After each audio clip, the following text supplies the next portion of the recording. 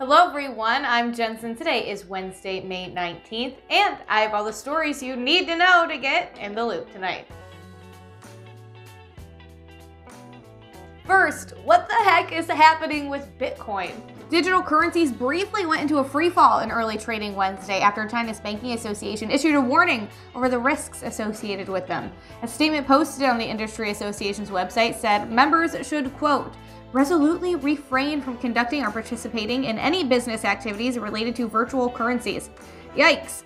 Bitcoin dropped below $40,000 for the first time in more than three months. Bitcoin's price was down 19% at one point Wednesday to just over $35,000, according to the crypto news site Coindesk. And that's well below the recent high of over $63,000 it reached just last month. This all comes after Tesla's Elon Musk said the company would no longer accept Bitcoin as payments for its cars. And Ethereum, another big dog in the crypto world, was down more than 35% this week, according to the trading app Robinhood. The selling was so intense that the website of Coinbase, an online brokerage for digital currencies, was down this morning, and getting pricing on some of those currencies was difficult. Coinbase's stock dropped 8% and was down 36% Wednesday from the peak it reached on April 16th.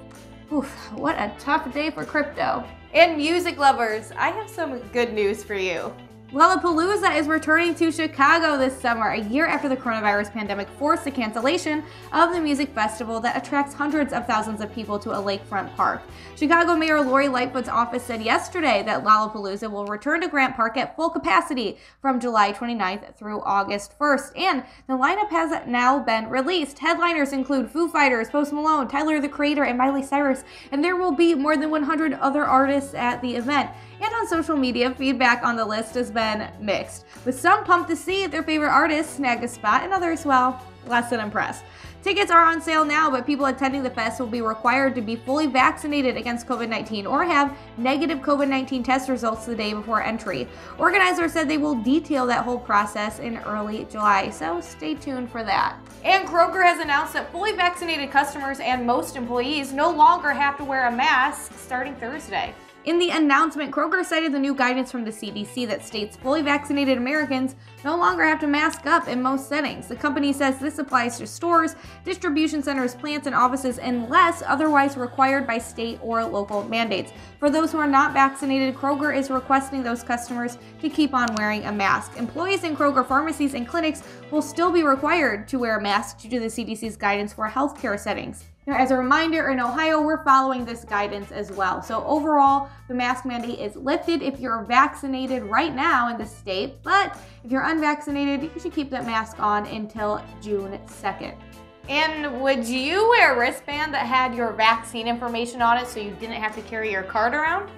Now, some businesses are making the decision to require this kind of proof, so a Colorado doctor invented something to make it a bit easier. It's called the Immuniband, and it comes equipped with a scannable QR code that takes users to a passcode protected site that stores confirmation that you've gotten your shot. The server is encrypted and HIPAA compliant. Um, we have the PIN code protection, and we really work hard to, to ensure data security. The doctor who invented the band says he hopes it gives people in all 50 states a bit more peace of mind. And before I go, let's talk a little bit about the weather. For my Northwest Ohio pals who are enjoying this heat, you are in luck because that heat is just starting to crank up. Tomorrow very well could be our first 90 degree day. And with that heat comes a stretch of humidity through the weekend. Temperatures near 90 stick around for a few days, culminating in a chance of storms on Sunday you know, you win some, you lose some, right? But that is all I have for you today. If you like this video, hit that like button and of course subscribe to our YouTube channel. I'm Jensen and now you're in the loop.